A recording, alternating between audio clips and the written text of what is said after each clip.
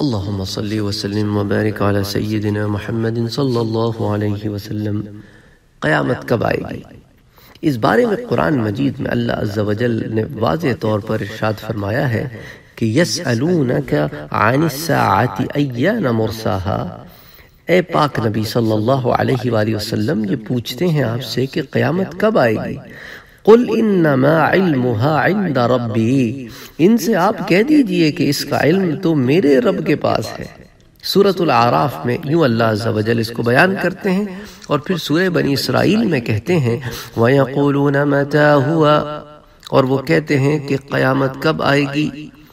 قل عسى ان يكون قریبا تو آپ صلی اللہ علیہ وآلہ وسلم فرما دیجیے کہ عجب نہیں کہ قریب ہی آ لگی ہو۔ یعنی جیسے ہی انسان مرتا ہے، اس کا تو اگلا دور شروع ہو گیا۔ اس کے لیے تو بس یوں لگی ہوئی ہے۔ تو اسی لیے اللہ عز و جل نے قرآن پاک میں ان دو آیتوں میں اور بھی کئی مقامات پہ قرآن میں حدیث وغیرہ میں اس بات کی طرف آتی ہے نشاندہی۔ لیکن یہ دو آیتیں ہی کافی ہیں ذہن میں یہ بتانے کے لیے کہ اس کا علم سوائے اللہ کی ذات کے کسی کو نہیں ہے۔